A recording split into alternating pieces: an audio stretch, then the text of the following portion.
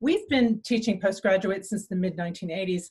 We have several postgraduate programs and a vibrant PhD program, and I am absolutely thrilled that I'm going to get to listen tonight uh, and find out about five other programs and networks around the world. Now, because I'm coming to you from Australia, we have a tradition here of recognizing the traditional owners on the land from which uh, uh, we're coming to you from. Uh, so I would like to acknowledge the Ngunnawal people. Um, they're the traditional owners on the land uh, here in Canberra, and I'd like to acknowledge their elders, past, present, and emerging. And I'm also going to acknowledge the elders of the Yagara people. Uh, Dr. Jenni Metcalfe is hosting this webinar from Brisbane, about 900 kilometers from where I am. Uh, and the traditional owners there are the Yagara people, and I'd like to acknowledge them as well. Now, this is especially important, I think, because the Indigenous people of Australia are, I like to think of them as the first science communicators. About 75,000 years ago, they left the African continent, the southern tip of which Marina Joubert is currently sitting. And they made their way to Australia. They interacted with the natural world, they became expert shipbuilders, they were artists, they were astronomers. And so, of course, they communicated all these things. And so I like to think about them as the first science communicators, and we still have much to learn from our Indigenous peoples. And of course, teaching and learning, that's our theme for this evening. And so we will get on to that momentarily. Housekeeping for our webinar tonight. Uh, I've just got three things. First, I think most people have already muted themselves and also um, have their cameras off. This will help to preserve bandwidth. So thank you very much for that. Uh, second, we're gonna handle questions in the chat. So we won't be stopping and asking people to raise their hands or anything like that. It takes too long. So we're going to handle questions in the chat. So as you listen to each of the speakers tonight, please get in there and uh, make your comment, ask your question. Uh, and uh, Jenni Metcalfe is going to keep track of those questions and we can ask them together at the end. So that'll be, uh, I think, the best way for us to have a virtual discussion.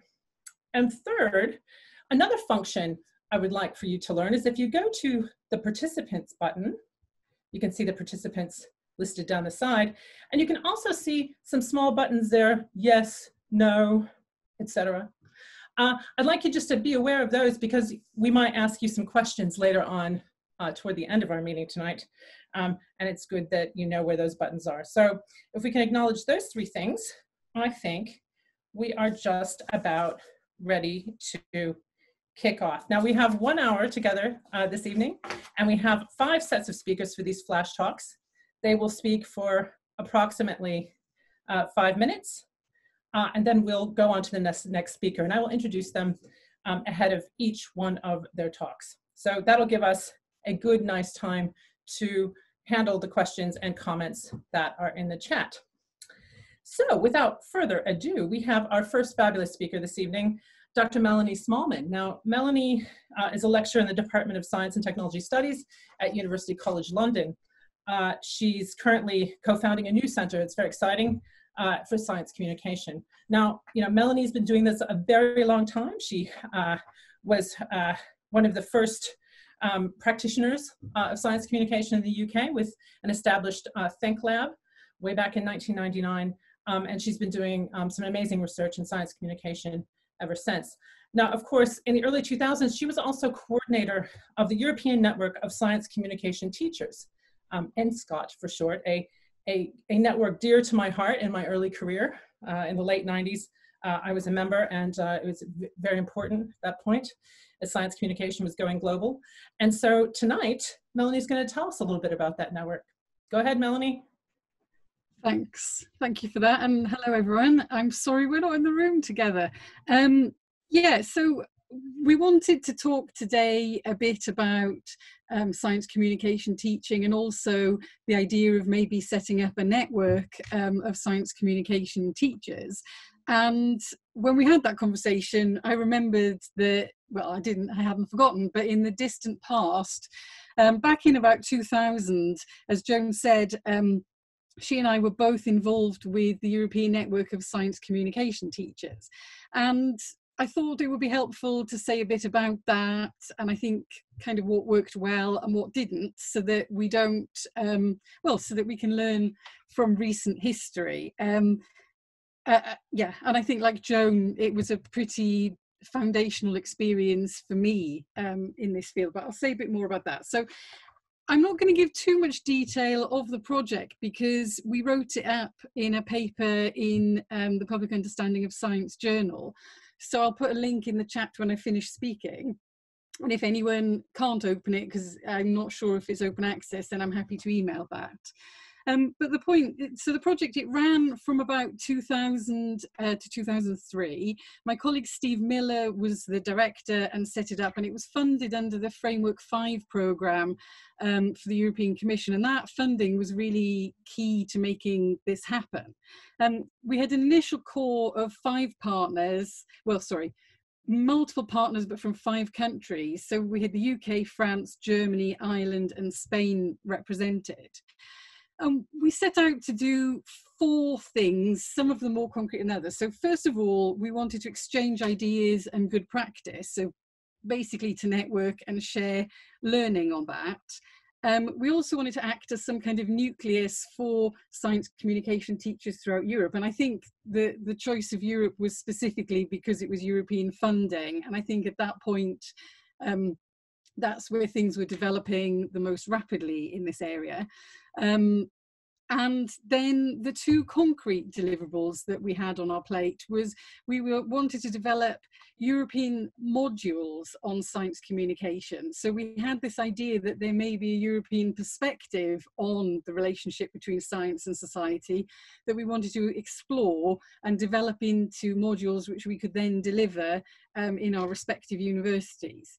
And lastly, we wanted um, to develop a series of science communication training workshops um, to support scientists working on framework programs that they could come and do a residential workshop with us and learn sort of basic science communication skills.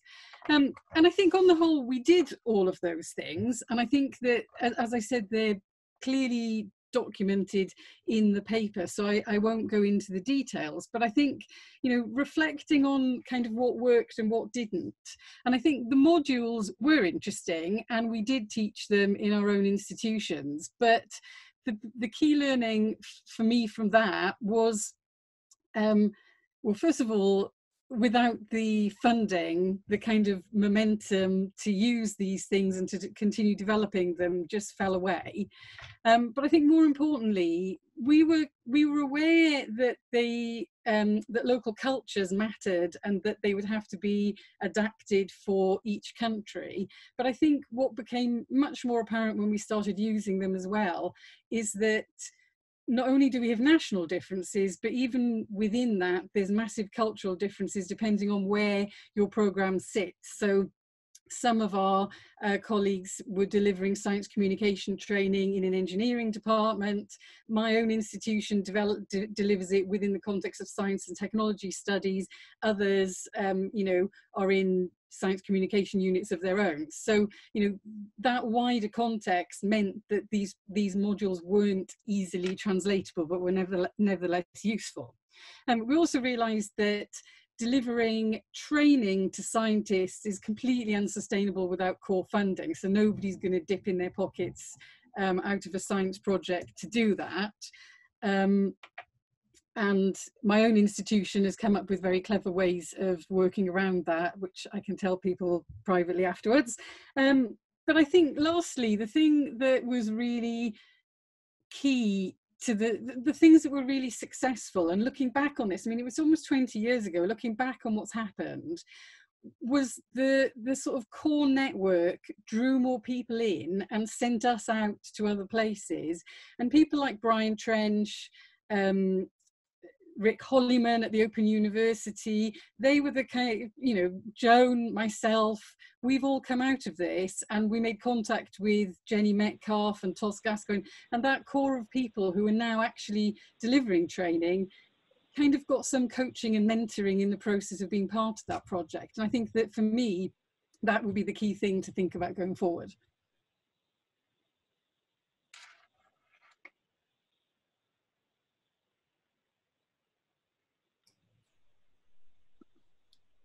Sorry about that. Yes, thank you, Melanie. That was fantastic. We have fond, fond memories um, of that time. Uh, please keep the questions and comments uh, coming in the chat, uh, and we'll we'll come we'll circle back around that uh, at the end. Um, our second speaker tonight is uh, Dr. Frans van Dam, uh, and he's going to be virtually joined by Janneke Koorn.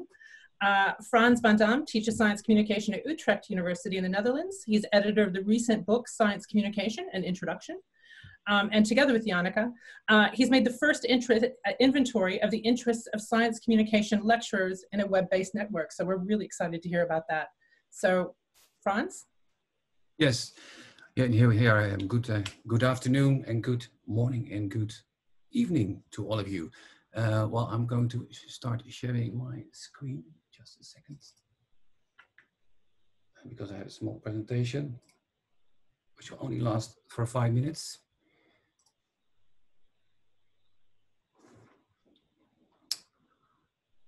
I hope you can all see it now.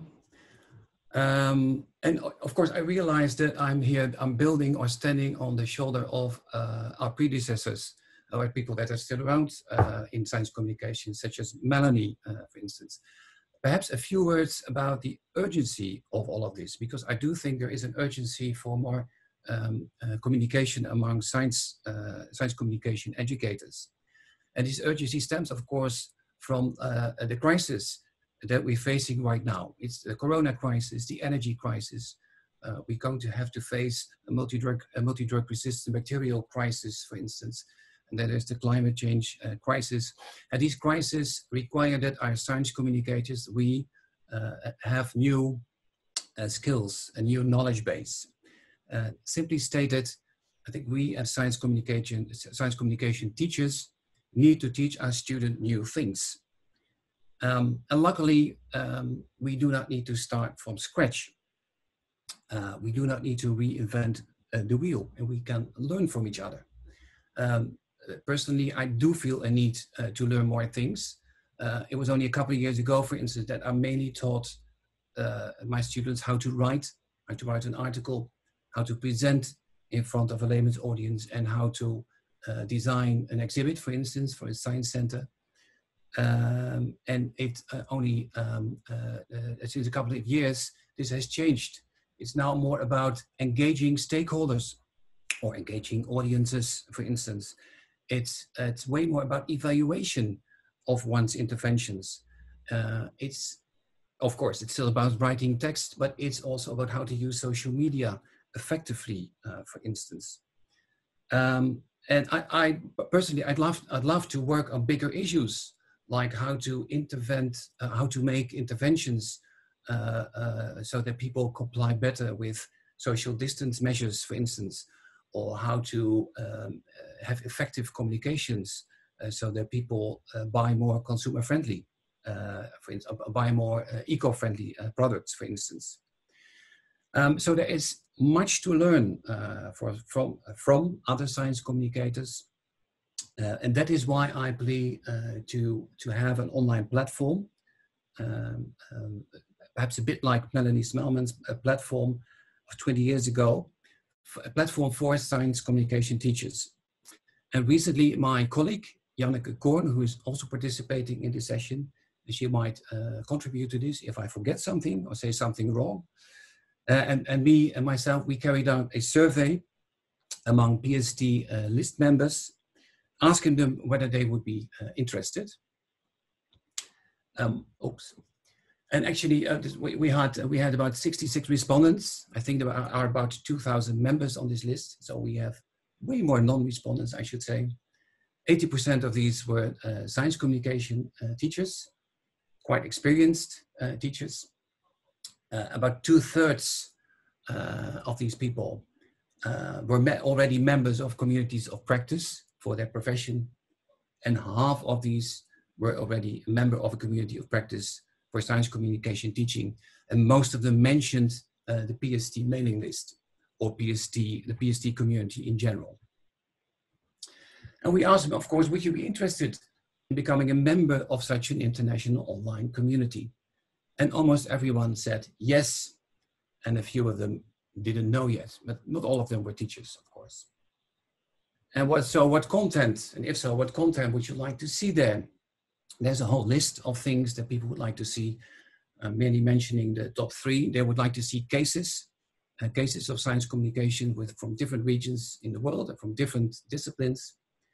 They would like to share curricula, um, and, but, and they would also like to share uh, uh questions and dilemmas uh, that you can use for discussion in classroom, for instance. And I can later also share this PowerPoint so that you, you can have a look at the other stuff as well. I have 30 seconds left. Okay, I'll be, I'll be fast. Uh, we also talked about the functionalities for this platform. People were interested in a discussion uh, forum, in trainings, and in uh, profile pages. Um, and people, about half of them said that they would use this uh, as a resource uh, in, in their lessons. In conclusion, we think, or I think there is support for such an online community, for sharing knowledge, for discussion, and for network. And of course, that is quite difficult because there's an, an, a list of requirements that one would need uh, in, order to have such a such an online uh, forum. There needs to be a moderator. You have to have active members. At the start, there should be some uh, some materials. There's a list of things you need to take into account my question for you and for discussion is, do you also see the need for such an online community? And then who is interested in joining this initiative and who wants to think along with me in order to realize this? That was it. Thank you so much, Frans, uh, and also uh, Janneke. Uh, so please, comments um, and questions for Frans and Janneke in the chat as we uh, go along. Uh, so that we can talk about uh, this, this urgent proposal that uh, Frans has uh, put in front of us. Um, so now we are on to our third speaker this evening, uh, Dr. Elizabeth Stevenson. Elizabeth is a senior lecturer at the University of Edinburgh. she designs and continues to deliver MSc programs in science communication and public engagement, um, both on campus and online. So she's here to talk a little bit about the teaching context at the moment in the UK. So, Elizabeth. Thank you. Thanks very much. Um, I'm just going to share my screen, hopefully, if you bear with me. And start that up. Yes, so is that visible to everybody? Hopefully I can see it, hopefully everybody else can. Um, and I've started at the last slide, so excuse me a moment. Right, so following on from the previous talks, I felt it was important to understand that not all universities are created equally. And there's a particular business model that exists for master's teaching, for all teaching in the UK, and possibly a handful of other countries. And I think in the context of a teaching network, it's helpful to understand that context. So when I talk about a business model for a university, it doesn't mean a university is a business at all, but all universities need a lot of money to run. A large university like the University of Edinburgh, University of Manchester, perhaps costs about a billion pounds a year to run. And obviously, the university has to generate that income. And a substantial proportion of that income in the UK comes from student fees for teaching. So 30, 40, 50% of the running costs of a university come from student fees. So what that's done is mean universities are actually competing with each other for students, even more so at master's level. And it is kind of understood that the teaching materials for top courses and programs belong to the university, not to an individual. So although you didn't see some of the comments from the the survey, there were some comments about copyright, there were some comments about the amount of time it takes to develop a whole lecture course, and would that be appropriate to share? And it's, it's particularly relevant in this business context that we have in the UK. Now, it's even more focused, if you like, at master's level. So um, master's programs in the UK, they're quite competitive with each other. They have to have, they have to be something identifiably different about them, but offer excellent learning experiences and you have to keep developing your program to be in that competitive market. So what that has really done in the UK is placed a spotlight firmly on teaching quality. So this is why that business model is very much a driver for excellence. And universities do spend a considerable amount of time and employ academic developers to develop the quality of teaching. You cannot expect to keep generating income the way UK universities try to do with, without offering quality. Now, you might say, are we all sitting in our university bubbles thinking we're offering quality teaching? Well, no, in the UK, we have an external examiner system that is mandatory in the UK. So that's somebody from a different university who's teaching at the same level or above in the same discipline that will particularly scrutinize your your assessments, they'll look for the quality of the assessment, they'll look for the consistency and fairness of the feedback, they'll look at the level the assessments are set. There's no point in thinking you're running a master's program when the assessments are at first year university level. They'll also look at a course description, they'll look at the learning outcomes, and it's a really good indicator of quality with that external quality assurance stamp. And I was actually starting to think, could this be deployed in the network? Could we think about quality of science communication teaching and employ that same external examiner process in the network? I mean, there's other things that we can do. There are existing systems for quality and for sharing expertise, external advisor, guest lectures, seminars, perhaps even more formal memoranda of understanding, and agreement, joint degrees, and not forgetting all the things that have appeared in the chat list. This idea of where is science communication now? Where is science communication going? What does it look like in different parts of the world? What does it look like when you're focusing on science, scientists from different disciplines? Excuse me. So just to summarize, the network could embrace, as long as as well as all the other things that the network could embrace. And I'm very much for this network. Um, it could actually embrace this form of quality assurance as well. And, and, just to say, do be mindful of the business model in UK universities and a handful of other universities, but I'm not going to speak for other countries. Okay, thank you. Thanks so much, Elizabeth. That's great. That's really provocative. There's a lot of issues there. I'm looking forward to uh, discussing in uh, the question time. So please, um, questions for Elizabeth uh, in the chat as we blister along uh, to um, our fourth speaker, uh, well known probably to many of you, uh, Dr. Luisa Massarani. she's a Brazilian science communicator um, and researcher and lecturer. She carries out practical activities and research um, she's the coordinator of uh, the Latin American arm of SciDevNet, um, and she's also um, coordinator uh, for the Masters of Science Communication at the House of Oswaldo Cruz, um, among many, many other things that she does. Um, she's won many awards, um, and tonight she's going to tell us a little bit about networks she has known. So, uh, Luisa, do you want to kick off? Yeah, Thank you so much. Good, good morning, everybody. It's very, it's not very early, but it's early. We are starting the day here in Rio de Janeiro, Brazil. And what I would like to share with you in this uh, short five minutes is uh, some results of a study that we conducted in 2016 in the scope of REDPOP. REDPOP is the Science Communication Network for uh, for Latin America and the Caribbean. And what we aimed in this study was to, to know uh, more about the postgraduate courses available in Latin America.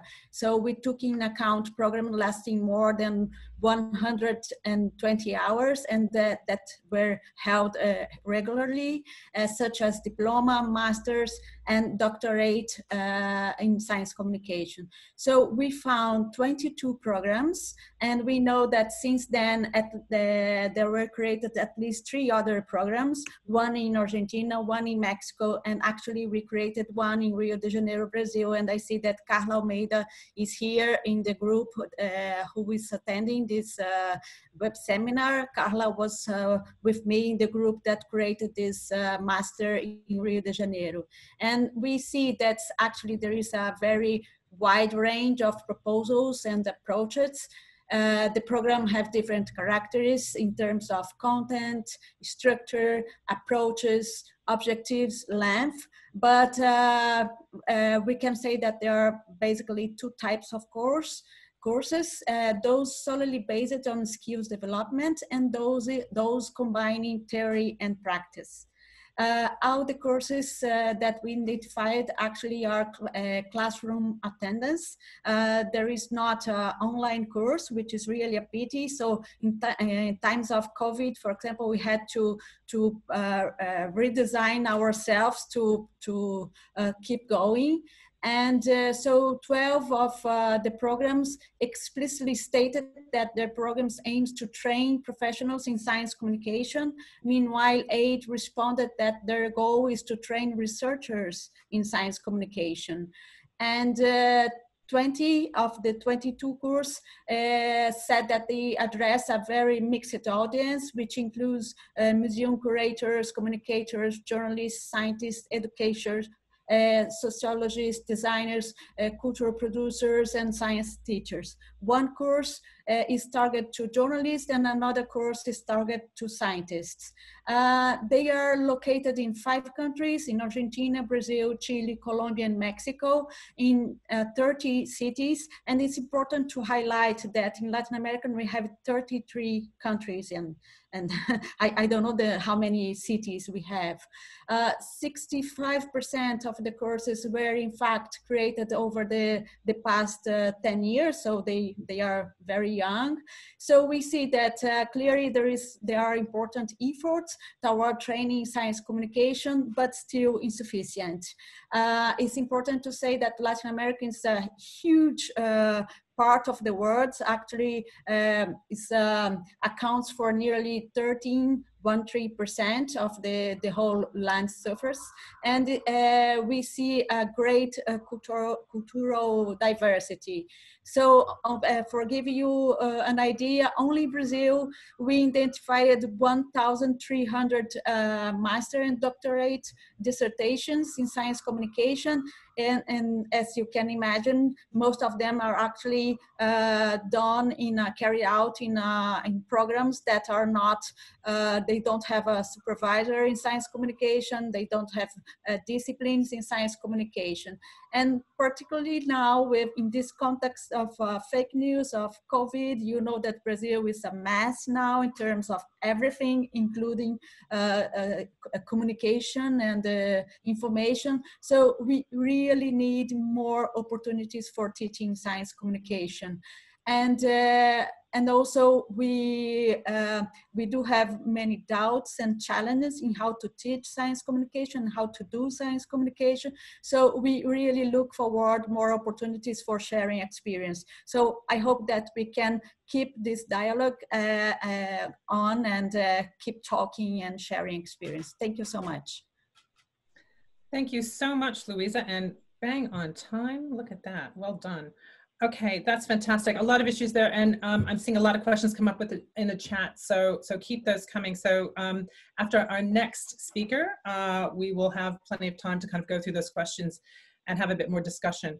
Um, so, our final speaker uh, this evening is Dr. Marina Joubert, who um, helped uh, plan and organize uh, the session this evening. Uh, so, five years ago, uh, Marina was instrumental in starting the first master's program in science communication uh, in South Africa um, with a focus on science engagement. Um, and this program still is uh, the only one uh, in, in, Africa at Stellenbosch University. So Marina, do you want to talk a little bit about how you set up a program and what kind of inputs you need to make a successful program? Thank you very, very much, Joan, and everybody who joined us today. It's really fantastic to um, to participate today. And uh, so I think the, the, speakers that spoke before me today have a much longer and much richer experience of science communication teaching than what I have. But in a way, that is exactly why I'm here today. I'm kind of a voice for people who are new to the field, who are starting up academic programs for the first time. And it's not always um, very easy. And, and that's why I think, you know, such a network could also be a great idea.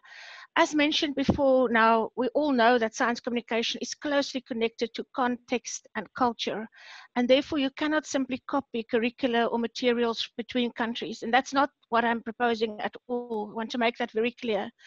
But it is about sharing not only um, learning from people who've done it before, but also giving back as you gain experience from especially developing country contexts.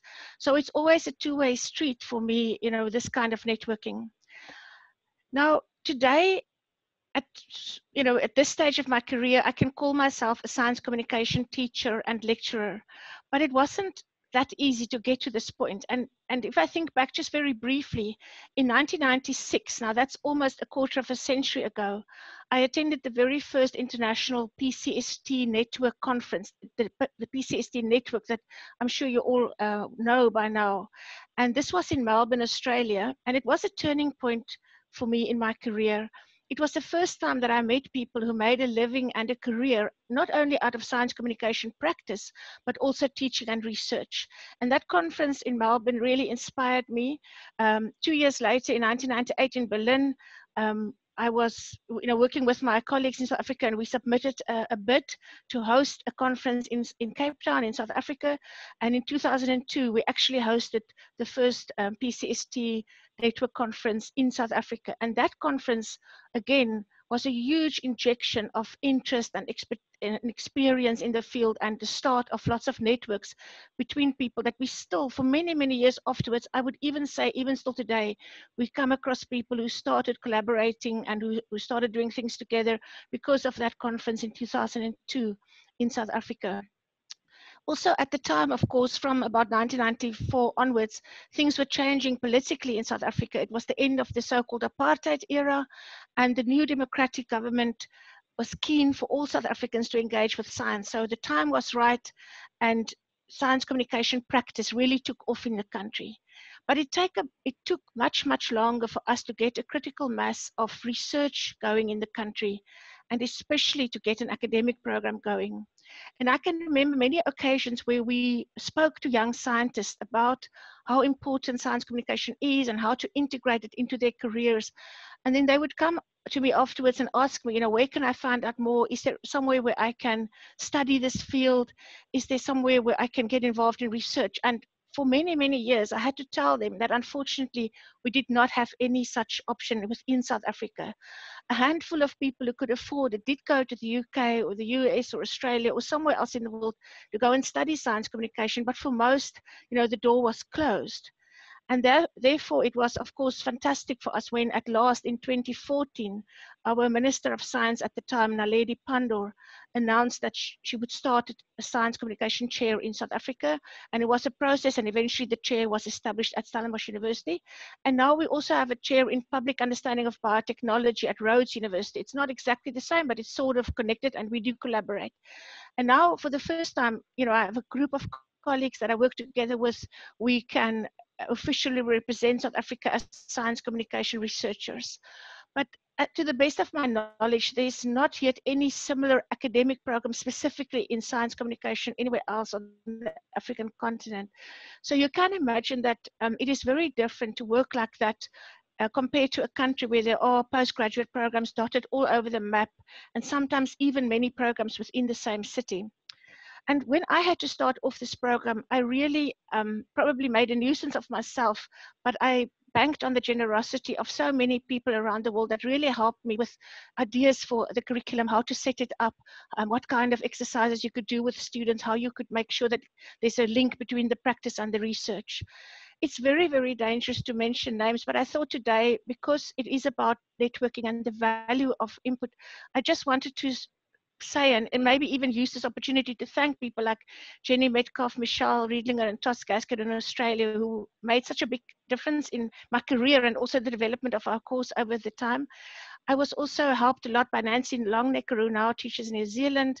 And on the other side of the world, I think um, Bruce is on the call today, and people like Sharon Dunwoody, Bruce Lewenstein, and scholars in Europe like Hans-Peter Peters, Brian Trench, and Massimiliano Bucchi. I'm mentioning these names because these people gave me the confidence to know that what we are putting together in South Africa is on par with what is uh, done in the rest of the world. And that is extremely important when you start a new program. Of course, then you take what people share with you and you adapt it to your local context and your local challenges.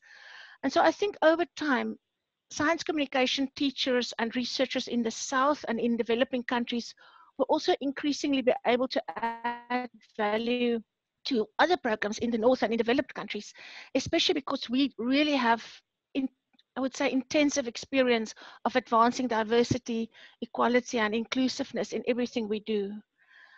And of course, as was also mentioned today, science communication is such a dynamic field. Who could have foreseen what 2020 would bring? Who would think that you know, science communication would suddenly be such a hot topic? And we have to respond to those challenges. We have to bring it into our teaching. And it would be so amazing if we could share ideas on that topic as well. And that's why I think such a network could be hugely helpful and will also lead to future collaborations between the North and the South, and also South-South research collaborations, which, which we really need. Thank you. Thank you, Marina. That's wonderful. Thank you. And so um, I, I don't know um, if everyone has their reactions here, but I'm going to give a virtual hand clap to all five um, of our speakers um, who uh, did a great job, but also kept to time. So thank you uh, very much for that. Um, there are a lot of questions here, and I am kind of going through those. To kick us off, though, um, one of the questions has kind of come up a few times and it differs from program to program and how you imagine teaching and that is kind of who are the audiences for these uh, for, for programs that we have? Um, and also if we were to form some sort of network um, you know how would we focus our energies on um, on these various audiences? Uh, so i don't know who wants to tackle that first uh, Frans, you had a little bit of data on that, and Luisa, you also um, uh, addressed this issue too. So, do we want to start with um, with Frans? Do you want to you want to tackle this about who the audiences are that we we might consider? What is the exact question? Um, so, so you know, um, some of the people have mentioned that the audiences for science communication programs are the training of scientists, research scientists. Others have said no, more interested in training um, oh, yeah. science communicators. And then Luisa had an amazing list um, of you know, curators and designers and other other professionals. So I just I wondered if you had a sense from the work that you did. Your um... yeah, in, in, the Netherlands, let's I speak on behalf of Utrecht University, in, which is in the center of the Netherlands, but it's also uh, for the other universities. We have a wide wide range of audiences. As I said, it used to be public at large uh, in the past. Right now, it could be for uh, for patient groups uh, that we things or do things with students for patient groups. It could be for still for the audience at large, visiting science centers or visiting zoos, for instance. Uh, but, but, we could also uh, organize interventions uh, aimed at specific uh, groups of stakeholders, so not the public at large, for instance. Mm-hmm. So, so and anyone who is not in a, a, scientific discipline and who might have an interest in that discipline, who likes to uh, have a relation uh, with the discipline, is an audience. Mm-hmm. Luisa, do you want to jump in here and, and, and talk about what's going on in, in, in the programs you know? Yeah, uh, it's, a, it's a very diverse uh, audience. Uh, in, in some cases, it's more like scientists, but still scientists from different uh, backgrounds and different steps of uh, their careers. But in, in most of the, at least in some of the other programs, it's a very diverse uh, group. In our case, it's usually it's like one third people working in museums with totally different backgrounds, then one third of journalists and one third of everybody. can be people from uh, artists, uh, uh, design, and uh, so it's a very diverse uh, uh, field here in Latin America. Great. Elizabeth, did you want to jump in here as well? About who the who the students are for these right so so it, it, very much depends on whether you're talking about training programs. So that's often practicing scientists maybe phd students researchers. So the training programs tend to be science communication training for researchers as i say if you're talking about formal educational programs it, it, I think you have to decide that when you're setting up your program. You know, is this to train people to follow a research career, or is it so that they can go into science communication practice? And I would say, just looking around, particularly in the UK and a few other programs, it seems that the the majority of masters are training students to go into science communication practice. Um, so I, I, don't know if that helps answer the question. But somebody mentioned on the the, the um, chat there about undergraduate. I mean, in the University of Edinburgh, and we did this kind of survey around the UK. Many many universities offer undergraduate teaching, not just training, but teaching in science communication as well. And that's generally for scientists. So scientists might be studying chemistry and they do a 10 or 20 credit course in science communication. Mm-hmm. Yeah, no, that's really useful. I, a trend that we're starting to see as well is not just training um, future science communicators, although we've kind of trained a generation of those in our program. Um, but what I'm seeing now is that people from other professions coming in, seeing science communication as an inter, kind of interdisciplinary mix that can then mix with work in science policy, for example. Uh, yeah, and, and that's, that's a really good point. Yeah, we see a lot of that in our online program, particularly. Yeah. Yeah. Hmm. Yeah. So that's an interesting development. Um, so I think that's that's a really interesting set of questions. Did anybody else want to jump in there on on um, directing their programs to particular audiences of students? Perhaps if, if I may add, I think I mistook your your question. Okay. Uh, of course, we have uh, audiences on different levels. Uh, uh, the, the, the students that we teach are uh, usually it's natural uh, natural scientists uh, who could then become a science journalist. Uh, and, and, some some are going to work for uh, science museums, for instance, uh, and, and others just use it for uh, for their for their practice in in science itself. So it's it's a, it's a it's a it's a whole range of audiences within university. Yep. Okay. Um, there's a sort of an, another um, interesting uh, subtext kind of going on uh, in the questions uh, or in the comments as well.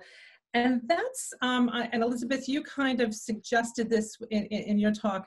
Um, so there, there are all these pressures, these drivers, and some of these are business models, and um, you know some of these are national regulation structures about what kinds of students and how we advertise for them, and and how we compete with each other globally, you know, in terms of the pricing of courses and all those very interesting issues.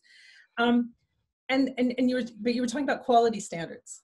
And that, that's another area where um, I, I think there's going to be rich discussion about quality standards in science communication, what the baselines are, what the benchmarks might be, um, and then what other things we consider necessary to the teaching of postgraduate science communication, you know, ethics, for example, or something like that. Do you, do you have any comments you'd like to make about that? Just unmute, sorry, missed the button there. Um, I think there's two, there's, there's almost two questions there. There's quality standards in science communication itself. What does quality science communication look like and how do we ensure quality science communication because we have a responsibility towards our audiences and that's where the ethics aspect actually comes in. But there's also quality standards in teaching of science communication and i quite like to make that differentiation between the practice and the teaching. And that's why i was hinting at perhaps we could there's one uh, one role for the network could be in that external examiner system for quality in teaching. But I think these are two separate things, quality of science communication and then quality of teaching and science communication. Yeah, I, guess I'm more interested. And big questions, yeah, yes. big questions, aren't they? They, they are. Does anybody else want to um, kind of jump in here? I mean, the, the UK has an external examiner system. Uh, Australia has a very elaborate review system where we all run around reviewing each other's programs. Uh, so, so um, does anybody else want to kind of um, come in here on other issues in, in terms of quality control? Can I, um, I mean, because I think this goes back to both the question of who we're teaching, but also the kind of institutional context that we're teaching in. So for example, um, in my institution, we teach scientists in amongst people who, who want to have qualifications in science communication. They sit in a classroom together and do the same thing at an undergraduate level. At a postgraduate level, we would be expecting a different quality of work from a student in the engineering department than within our own. And I think one of the things I've noticed, so I'm an external examiner in another um, science communication program in the UK. And I think one of the differences that I notice is the institutional context. So I'm in a science and technology studies department, which is a critical department, and we take a critical stance to technology. Our jobs are certainly not to say, yay, isn't science exciting? Come and look at this new shiny gadget. And mm-hmm. the, the content and the style of communication is very different that students learn as a result of that. And I think to come you, you know for, from another institution and say you're doing it all wrong because you're not teaching them how to sell stuff for microsoft you know it, yeah it's kind of it's interesting issue mm-hmm. that's great frans did you want to jump in here yeah, I would. I'd like to make a case for the following. I think it's not not just about the quality control of the thing what you are teaching. Uh, for, for, instance, will your students become better writers in, in popular science, for instance? What I think is more important is also are you teaching the, the right things? Uh, are you teaching, uh, uh, will they become uh, professionals who are able to really engage stakeholders, for instance? Or will they only become professionals who just tell what their science is about? I think it should be the, the first option, for instance. So it's not about doing the things right, it's also, it's, it's mainly about doing the right things. And I'm not sure how to test the quality of that. Mm-hmm. Uh, I don't have, have, an answer to that. So it's more complex than uh, I would say. Okay. So you're not proposing a canon of science communication then? proposing what? A teaching canon of science communication. That would be an interesting uh, project. Um, so there's another set of um, of uh, comments really interesting going on in the chat, and that is about the internationalization um, of programs, which means that many of the students um, uh, are coming to other cultures to study. Uh, I, I, can imagine that's an issue just about everywhere. It certainly here is here in Australia, and I know it is in the UK as well. Um, and so, how do you handle that? We, for example, have a program, uh, really great program with the National University of Singapore, and so trying to handle case studies across the Asia Pacific and um, and into Australia, so that students have a, a really rich mix of things um, to talk about. Um, but and and and then we also um, have a course on intercultural science communication, which is um, which is a, a, really interesting area. Does anyone else have any interesting uh, or novel ways of working that intercultural those questions in science communication? Melanie, what do you guys do? Well, I was just thinking what I can say constructively because I think um, it sometimes feels like a shock that we're in that environment. So at UCL, we have an incredibly international um, intake, and you know, I think I think that the standard European examples and case studies just don't do the job anymore. So we try to supplement um, or not just supplement, but we try to really have international global perspectives in the material. But the new program that we're developing certainly is going to have an entirely global focus and recognizing that media travels, that, you know, teaching people how to get published in the Guardian and Times is not going to serve them well in the 21st century as careers. So, you know, really thinking about, um, what it means to be a science communicator in a global context. And for us, the biggest issue is language. So you know what do we do about non-native speakers? How do we how you know how do you grade communication work that you that is not well is not in good english? Is is, is that a problem? Should we be worried about it? That's a constant discussion that we have. Mm. so marina do you want to jump in here? Because you, you know in your in your five minutes you kind of provoked us a little bit to talking about how the science communication uh, program kind of came out of you know the apartheid area and was related. I mean, how, how are you handling those intercultural issues? Yes, I would say, you know, post the apartheid era, there was a new window of opportunity to really get it established and with, with support from, from the government, because political support in the end is really important because obviously then it comes with funding.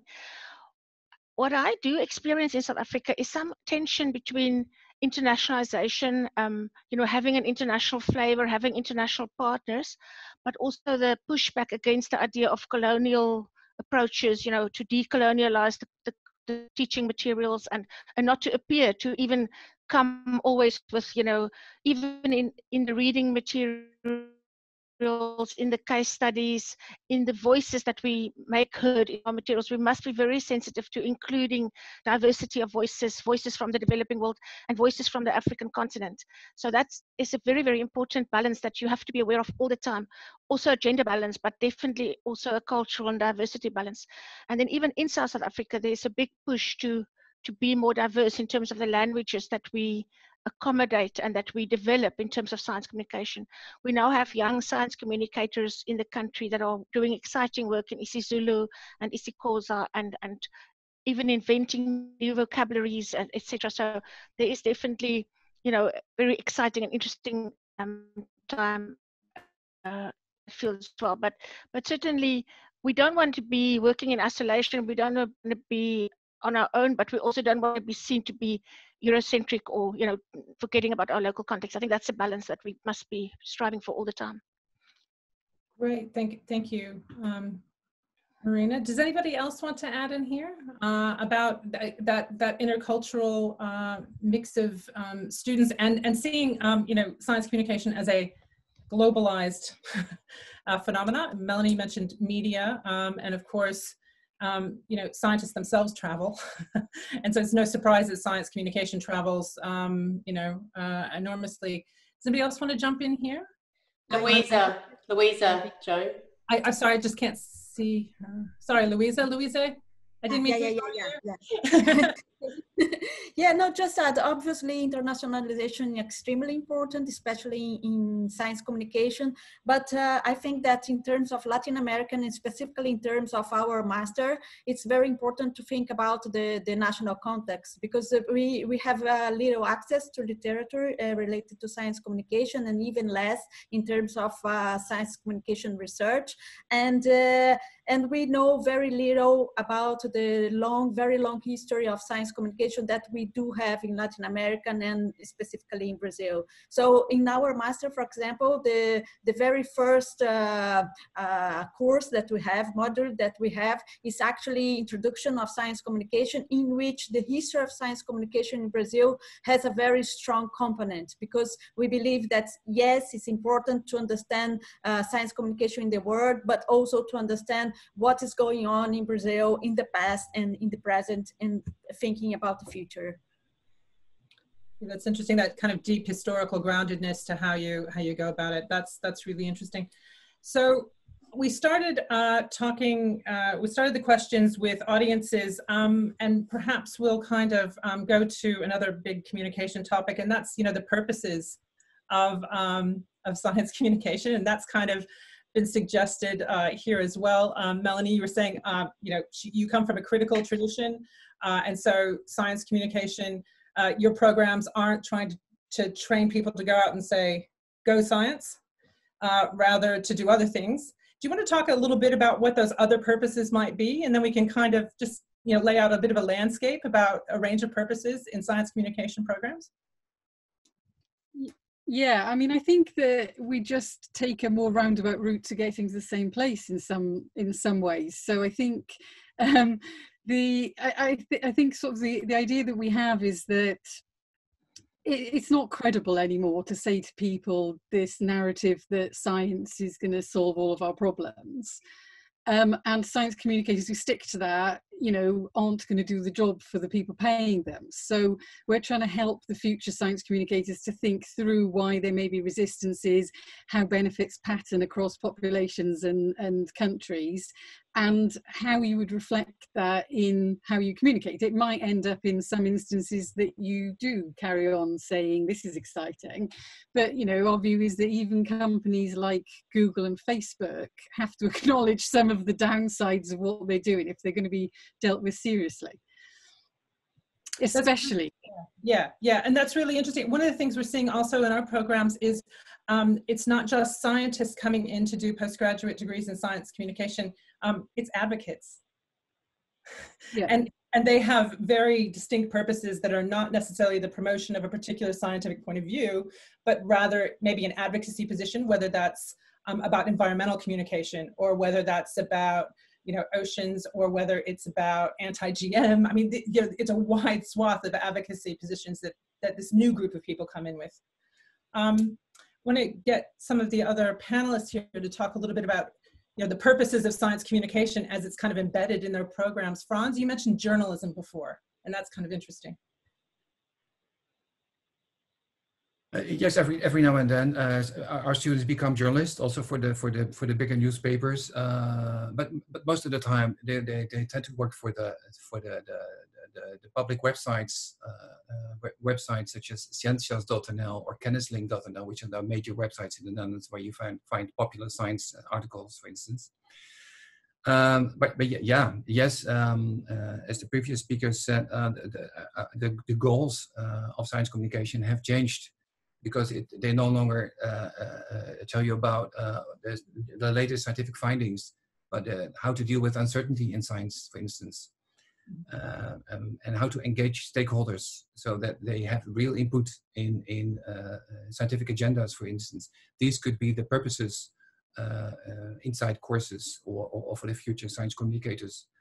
And these are way more relevant than just the purpose of uh, telling the story. Yeah, no, it's mm-hmm. interesting. That's interesting. Thinking about move that moving from the engagement paradigm to a co-design paradigm and how that starts to look very different. Um, yeah, no, really interesting. Uh, Luisa, do you want to jump in here about a little bit about this this purposes question, um, and thinking also about you know the RedPOP network, um, which you know or Side SciDevNet, which has a a kind of advocacy angle as well. Yeah, I thought uh, REDPOP and uh, and uh, SciDev is very practical science journalism, right? So it's really like, uh, and uh, in terms of SciDev, uh, it's uh, important focus is trying to do the link between science and development in the developing world. And I think that's very important, again, because uh, usually people know much more about science in Europe or United States and not uh, in Latin America. So SciDev in Latin America, we have a strong um, like uh, advocacy, but also a window for uh, having more contact to know more about science in Latin America. In terms of REDPOP, it's more, it, it started as a, a, network much more about uh, people who uh, do practical uh, activities in science communication, and it was especially in science museums. And uh, now in the, the last years, we, we are doing more research in science communication. So, and, but also I think that one important aspect of science communication is that the practice and uh, research in science communication, they talk a lot. So even in our master, uh, we are not uh, giving skills for science communicators to do science communication, but we hope that we are uh, giving them some thoughts, some thinking about uh, what means science communication for society, and then they can do uh, better their work as science communicator. That is not nobody who uh, follow our master, they want to do research in science communication, but those who want to be practical science communicators, we hope that is also useful for them. Mm-hmm. No, that that's that's really interesting. Uh, Marina, do you want to jump in here as well? I mean, I mean, you have the the the SOL program there uh, in South Africa. I mean, so how do you see your purpose there? Maybe I should quickly explain that our program is housed within a broader framework of science and technology studies, and this is exactly why we also see. Um, I personally see some tension sometimes um, and or a little bit of a disconnect that maybe other people can also comment on. And this is that young scientists often come to our programs with kind of stars in their eyes, expecting to, to, to to learn how to communicate science and, and kind of wanting to change the world. And then some of the modules, you know, the approach within our broader program is, is quite critical and reflective um, sociology of science, philosophy of science, you know, getting away from the idea of promoting science, but rather being critical, reflective about the relationship between science and society. And it's quite different sometimes from what the students maybe expected or hoped, you know, when they enrolled for the program. So I'm finding that balance between also practical skills, you know, allowing people to walk away, being able to produce a wildlife documentary versus training them to be, you know, in social science methodology, for example. You know, so there's there's a lot of, and this is why the point I should maybe have made at the start was, I kind of feel when you teach physics or chemistry anywhere in the world, there's core things that's going to be the same. It doesn't matter where you are. But science communication is so different.